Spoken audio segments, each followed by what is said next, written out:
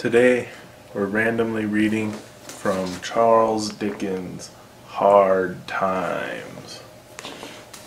I've never read this book, so it'll be a truly random read. Uh, let's go there. Bitzer, craning a little to look over into the street from where he stood. But there's a gentleman been looking up here for a minute or so, ma'am, and he's come across as if he it was going to knock. That is his knock, ma'am, no doubt. He stepped to the window and looking out and drawing in his head again, confirmed himself with, Yes, ma'am. Would you wish the gentleman to be shown in, ma'am? I don't know who it can be, said Miss Sparsit, wiping her mouth and arranging her mittens. A stranger, ma'am, evidently.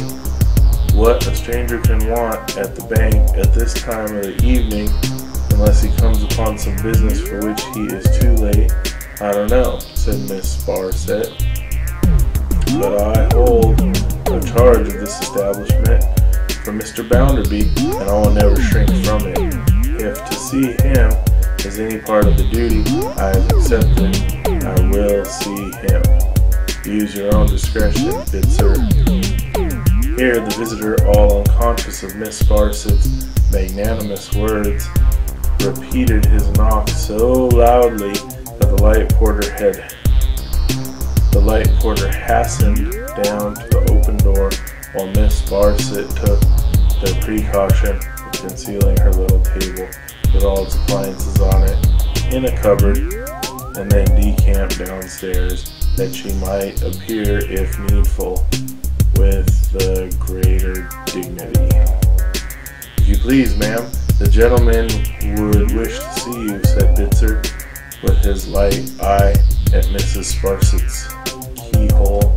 So Miss Sparsit, who had improved the interval by touching up her cap, took her classical features downstairs again and entered the boardroom in the manner of a Roman matron going outside in the city walls to retreat with an invading general.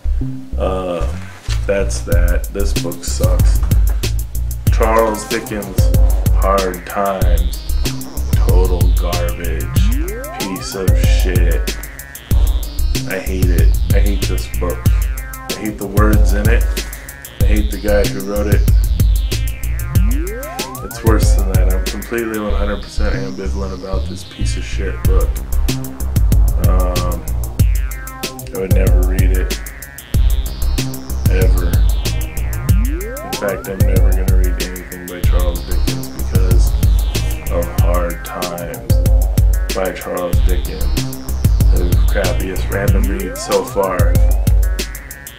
Franz, Franz Kafka did a much better random read.